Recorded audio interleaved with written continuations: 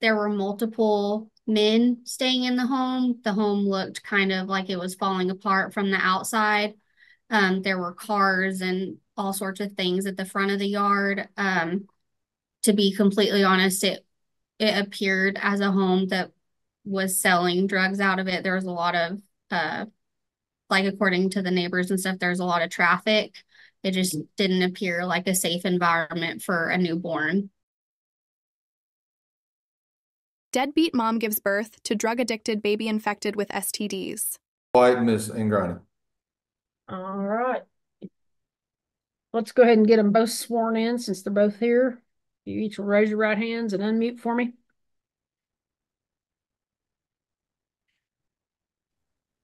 All right. Do each of you ladies solemnly swear or affirm that the testimony you'll give today will be the truth, the whole truth, and nothing but the truth? I do. Yes. Okay. All right, Mr. Trout, you may proceed with your first witness. Thank you, Honor. I'd call Kelsey White first, Your Honor. Okay. Miss White, would you state your name for the record, please? Kelsey White. And Miss White, how are you employed? I'm an investigator for Child Protective Investigations. And how long have you been in that role? About eight years. And you are familiar with the case involving the child Xander, is it Rude? Rube, yes. And how are you familiar with that case? I was the investigator on the case. How did the department become involved in this case? Um, we received a report um regarding concerns of uh mom using during her pregnancy. Okay. And when you first get a case, is your first step to try to meet with parents? Yes. And were you able to meet with mom in this case? Um, I met with mom at the hospital. Okay. And did you discuss the allegations with her? I did. And what was mom's, so allegation of drug use, what was mom's response to that? Uh, she did admit to using my Okay. Um, did mom state um, specifically like how long she had used, when she had used? Did she give you any details on that? um she has an extensive history regarding use and she had used pretty uh consistently. Uh, did she state whether she had used throughout the pregnancy? Uh yes, and that that's why we became involved because she did test positive during her pregnancy at a hospital visit. Okay. At the time, um, did mom state what her intentions were as far as with the child? Was she planning on um, keeping the child, adoption, or anything like that? Um, at the time, she had discussed um the baby staying um like adoption was discussed, yes, but the plan it was questionable what the plan had been set, if that makes sense, like that she had taken the steps to do that. Okay. Um, but did she state, did she state to you whether she planned on keeping and raising the baby? Uh, no, that she was not going to do that. Um, were there any complications with the baby that uh, withdrawals, anything else come up with the baby? Um, yeah, he was in um the hospital um for a little bit and uh mom had tested positive for chlamydia, which obviously that affected the baby and he was having difficulty breathing, um staying calm and he was jittery. So I mean typical withdrawal symptoms. Okay. Um, did he receive any other type of treatment while he was at the hospital? He had to be on antibiotics because of the infection and everything. Okay. Um, and was that, you'd mentioned chlamydia, was that syphilis also, or, Yes, sorry. okay. Um, did mom give you any names of family members or anybody to, uh, that the child could be placed with or to be looked at to place? She did. She mentioned her mother, um, that she was here in Amarillo and had, believe here, uh, had her other child, had been raising her other child. Okay. And was that looked into? Yes, um, the supervisor at the time had a conversation with her about everything that was going on, and she did have concerns with mom using meth and being able to care for a baby. Okay. So at the time, grandmother was not a viable option for that. At that point, no, she had already kind of been through this with the other child. Okay. Did um did mom give you any other names of anybody to look at? Um, no, not at the time. Um, and from our understanding, the the dad at the time was incarcerated for drugs. So Okay. And that was gonna be the next question. Did mom tell you who um dad was, or did she think dad was? she said she believed it was a Daniel Austin and said that he was in Oklahoma, uh, incarcerated for a drug charge. Okay. And were you able to find him in your investigation? Uh, no. Uh, we looked and ran everything we could. A few showed up here. Um, we went and tried to locate them here in town, and none of them were the correct person. Okay. Um, did did you the department try to prevent removal by um, y'all talked about a safety plan, but there weren't any uh, viable options, correct? Correct. We had no one appropriate at the time. Okay. Um, didn't know where dad was or if he was dad at the time. Correct. Okay. Um, what about um PCSP didn't have anybody that could um supervise for the safety plan, so I'm assuming no appropriate families for that. Correct. Those two kind of coincide. So without an appropriate caregiver or someone who would even be willing to to monitor her with the baby, I that wasn't an option. Okay. Um, at that time, was the decision made to file for removal? Yes, sir. And that was also based on mom's admittance of um, ongoing and current drug use? Correct. And do you believe that was in the best interest of the child? I do. Um, when you, um, after removal, where was the child placed? Um, honestly, I'm trying to think. The kiddo was placed, I believe, in. Give me just, just a second. I'm sorry. Um, in I believe in a foster placement. Okay. Um, also, was was the child have issue feeding? Yes, they had issues. Um, he was moved to the NICU during his stay at the hospital um, to receive those antibiotics, and he was having difficulty feeding from a bottle. Okay. Um, were you able to meet with mom after removal in orders to go over the paperwork with her? Uh, no, at that time, uh, trying to locate. Well, yes, I did meet with her at the home that she said she was staying at, and that was another concern because it was not appropriate. Okay. Um, and due to the concerns in the removal, you believe it was in the best interest of the child to remove from mom at that time? Yes. And you still, even after removal, were not able to find dad?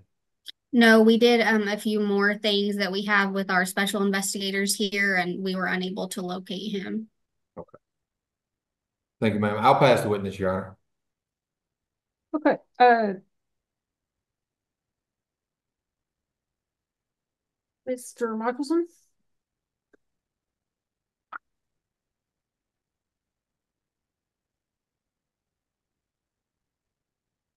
You're you're muted.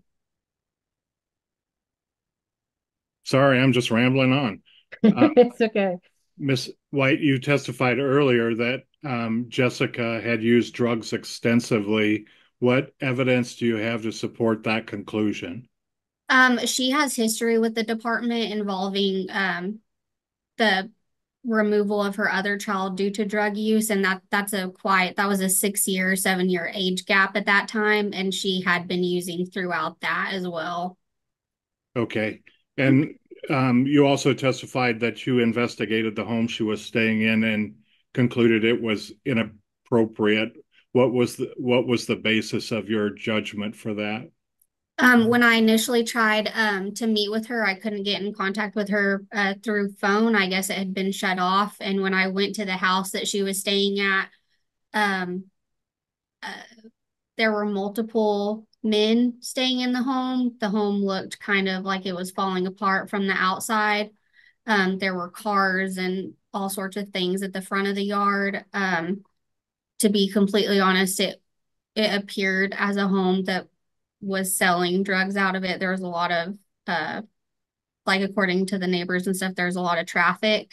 It just didn't appear like a safe environment for a newborn. Okay. Um, pass the witness, Your Honor. All right, uh, Ms. Kincaid? No questions, Your Honor. Okay, Ms. Zavala. No questions, Your Honor. All right, Mr. Trout, anything further of this witness? Nothing further from this witness, Your Honor. Oh, one, one quick thing also, Your Honor.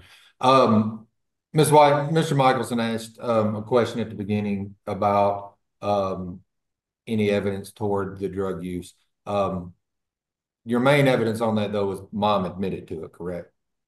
Correct. And we have the po uh for my case alone, we have the positive uh UAs for her and baby at the time of birth, and then the previous positive drug screen at the hospital just months, a few months prior to her giving birth. So she had continuously used. Okay, all right. I'll pass witness, Your Honor. Okay, anybody else have any further questions for Ms. White? No, Your Honor. No, Your Honor. No, Your Honor. All right, is Ms. White free to leave at this time? No objection, Your Honor. No objection. No objection. All right, Ms. White, thank you very much. You're free to go on about your day's activities. Thank you, Your Honor. Call Nurti Anggraini. All right, she's been sworn in. You may proceed. Ms. Ingrani, would you state your name for the record, please? Uh, Nurti Anggraini And just for the record, would you spell your first and last name for them, please? is N U R T I, first name and last name A N G G R A I N I. Thank you, ma'am. And Ms. Ingrani, how are you employed? Uh, I'm employed with St. Francis as a permanency specialist. And you familiar with the case involving the child Zandaru? Yes, sir. And are you the caseworker on that case? Yes.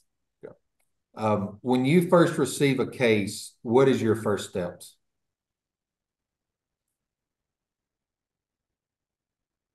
Um, the first step, um, I uh, met with the mom and I tried to call and contact the mom. Um, and tried to um, get to know her and um, and see what's what's uh, the situation, and then um, after that, I'm going to um, make the service plan and to mitigate the risk um, with the mom. Right. Yeah. And tell me, what are, you said make the service plans. What do you, what are those and what do you mean by that? And service plan is I created based on the removal facts. Um, uh, that can help mom um, uh, do the services to get her a baby back. Yeah. So, so family plans of service, um, are services to help parents work toward reuniting. Is that what you're saying? Yes, the reunification. Yes, sir. Okay, all right. Uh, was that done in this case?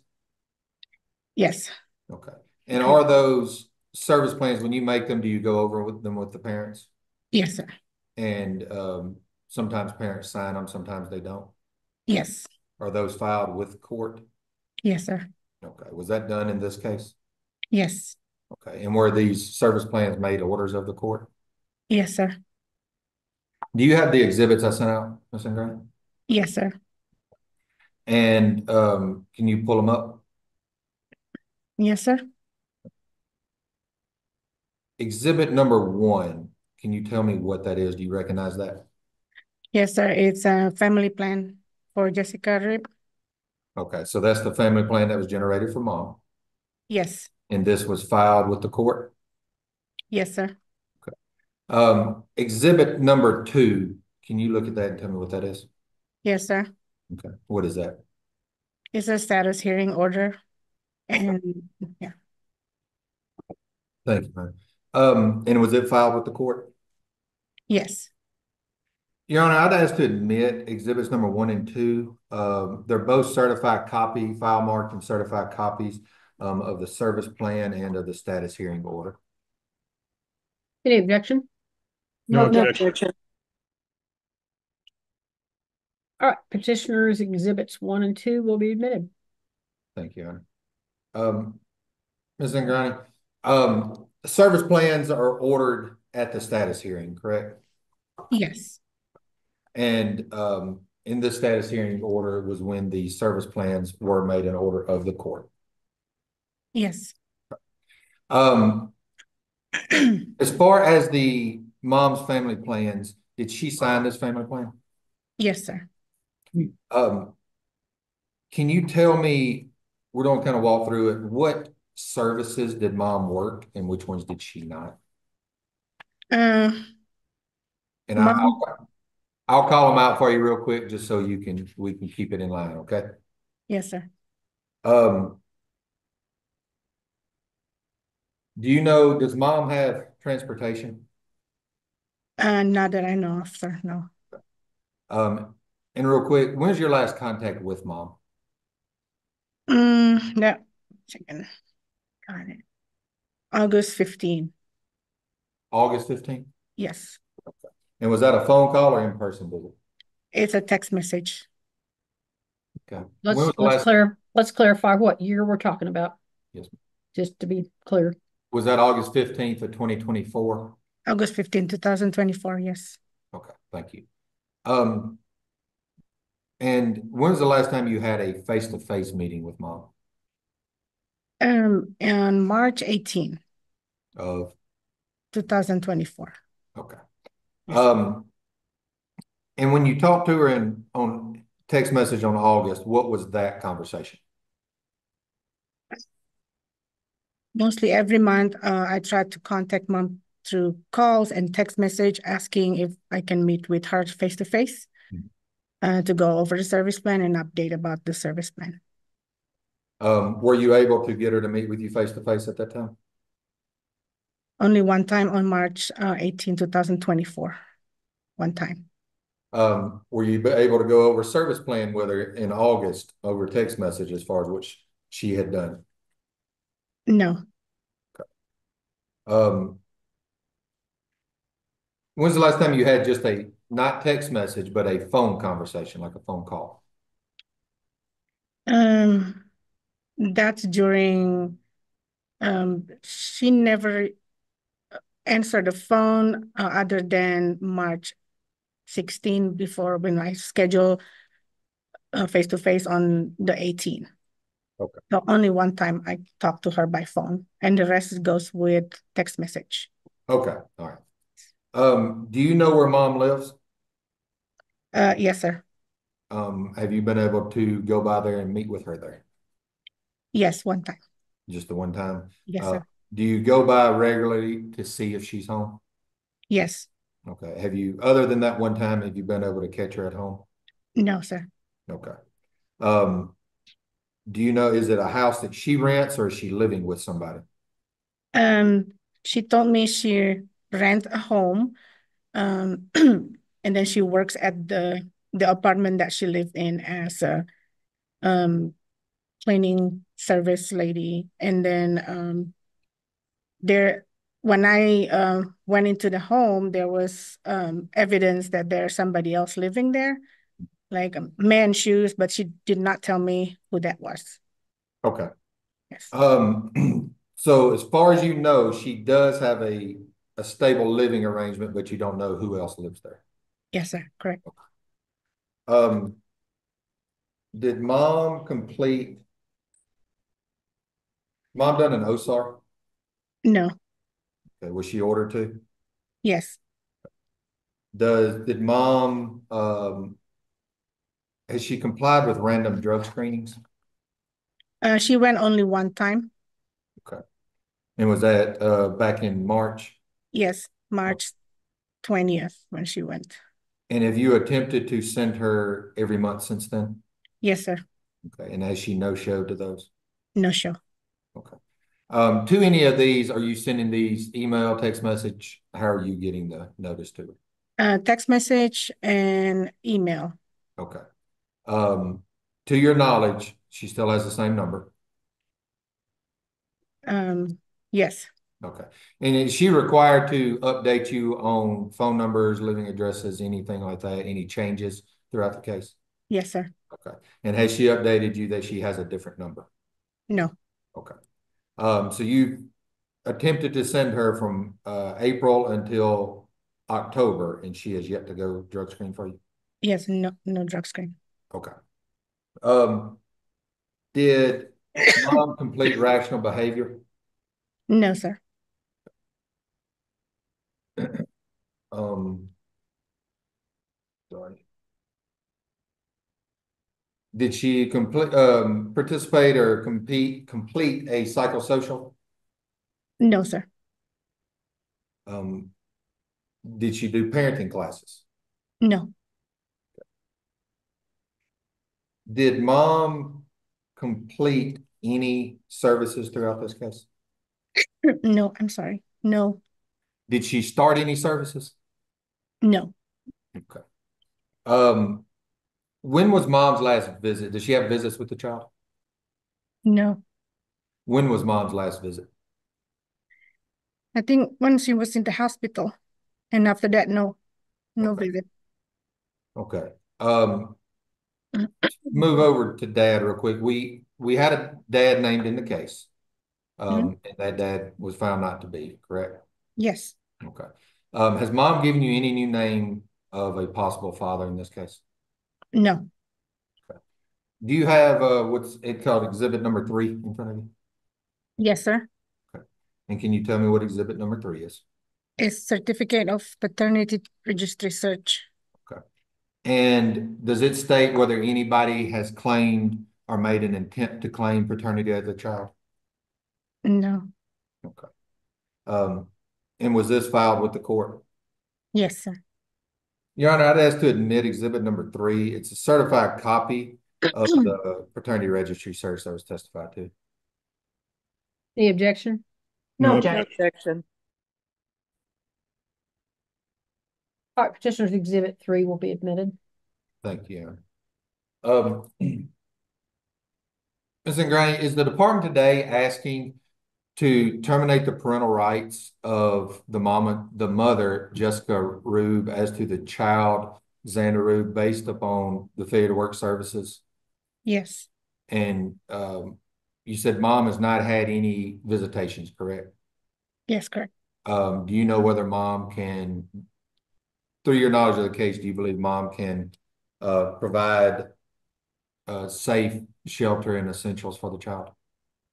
No, Um, has the department attempted to provide services to help the mom reunite with the child?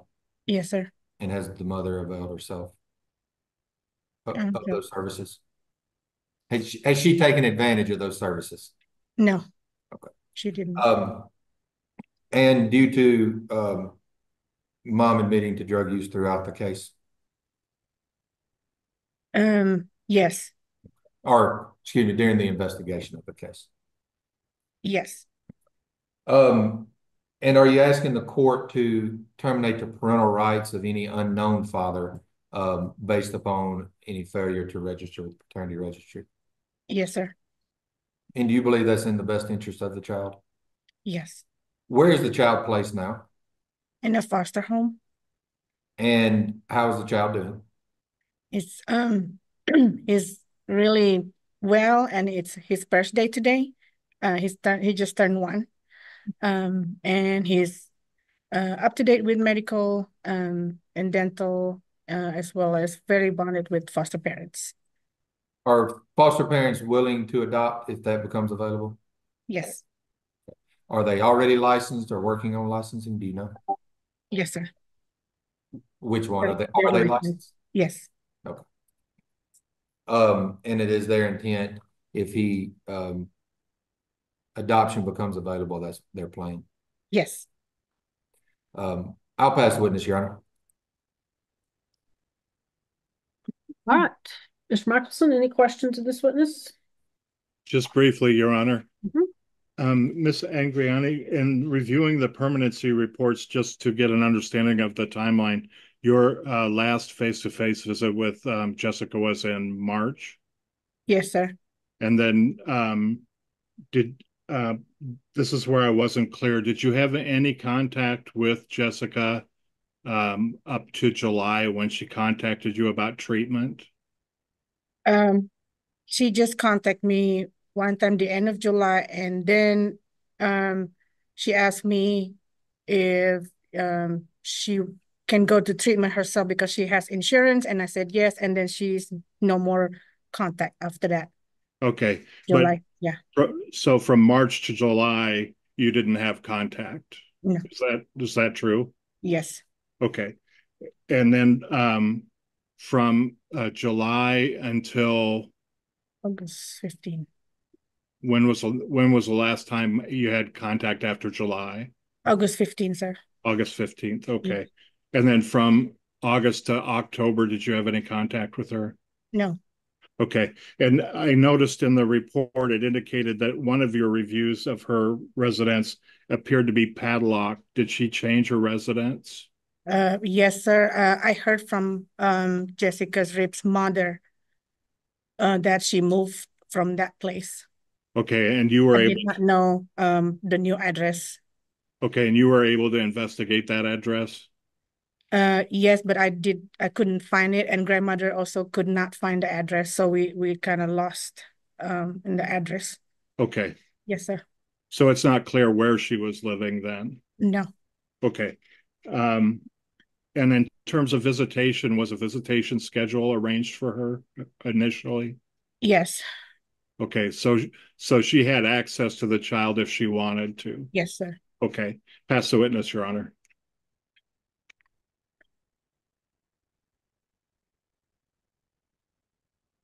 Sorry, Ms. Kincaid, any questions?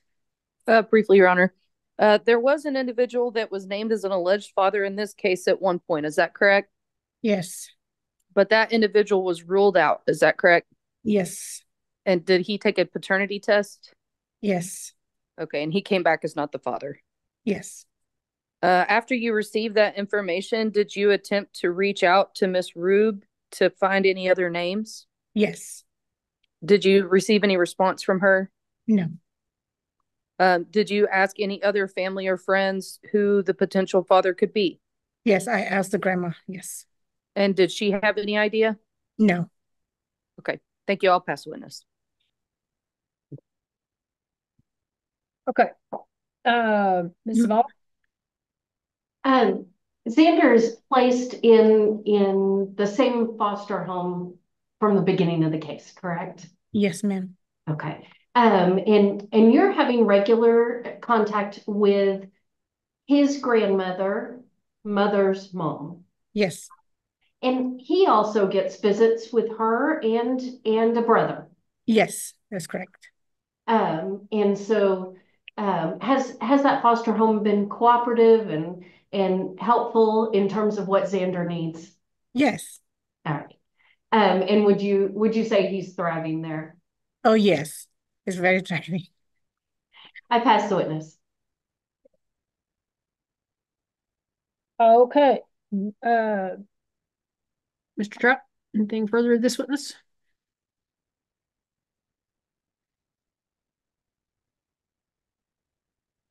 Nothing further this witness, Your Honor. Okay. All right. It's the department rest. Department move arrest, Your Honor.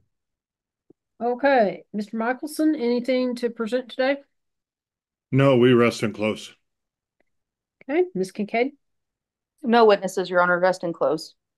All right, and Ms. Zavala? No witnesses, Your Honor. I would rest and close. Okay, Ms. Zavala, do you have a recommendation to make? I do, Your Honor. Um, Xander is, is really doing well. Um, I do believe it would be in his best interest for, uh, the paternal uh, rights to be terminated, uh, for, for both parents at this time. All right, thank you. All right, at this time, then I do find by clear and convincing evidence it is in the best interest of the child, Xander Reed, to terminate the parental rights between the child and his mother, Jessica Reed, based on Texas Family Code 161001, subsection B1, the E, N, O, and R grounds, and the best interest under uh, Texas Family Code 161001B2. I also find by clear and convincing evidence that it's in the best interest of Xander Reeb to terminate the alleged unknown father's rights based on his failure to register with the paternity registry under Texas Family Code one sixty-one oh oh two subsection B three. I will name the Department of Family and Protective Services as the permanent managing conservator of Xander. Uh, and I will dismiss all court-appointed attorneys uh, from the case except for Ms. Zavala. Uh, after the de novo and appeal expires, uh, Ms. Zavala will remain as the attorney, the child's attorney and guardian ad litem. And counsel, as always, if you're instructed to file an appeal, please uh, do not do that until a final order has been signed and adopted by the referring court. Also, just be mindful that your de novo time frame does begin to run since we've rendered today in open court. All right, I appreciate everybody. Um, thank you all very much. Those of you that have no further business with the court, you're free to go. Thank you. Thank you, Nurti. Thank you, Judge. Thank you.